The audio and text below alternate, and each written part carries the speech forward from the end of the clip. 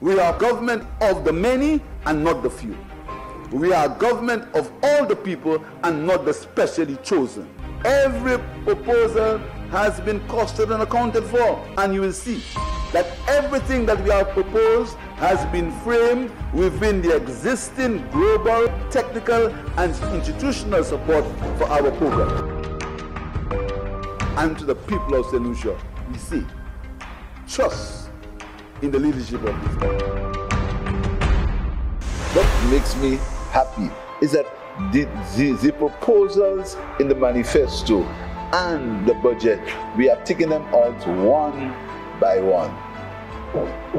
We are taking them off one by one. We're taking them off. In the first 18 months, with COVID, with Ukraine, Russia, we are taking them off one by one. The good news is we ended 2022 in a much better place than where we started. We have entered 2023 with a renewed optimism for the prospects of our economic growth.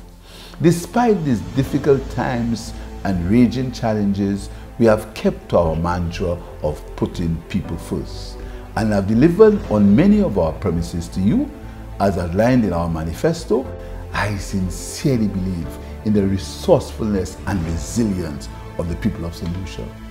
I believe that the majority of St. Lucians understand that there are challenges and that together with the help of God we'll overcome and make our one of the best places in the world to live and visit.